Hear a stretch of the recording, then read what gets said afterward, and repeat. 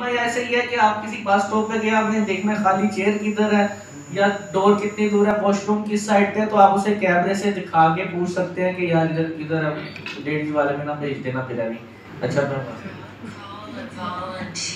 ये मैं बोल a रहा हूँ बस 50% करें ना इसकी 50% नॉर्मल है।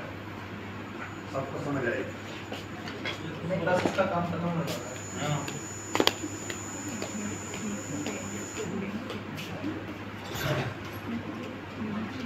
ये आप वो ऐप कनेक्ट करिए मुझे वॉलंटियर से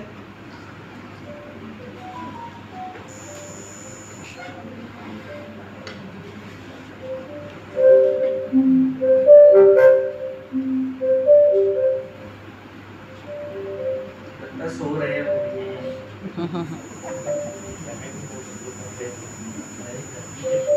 We are still trying to find the first available volunteer.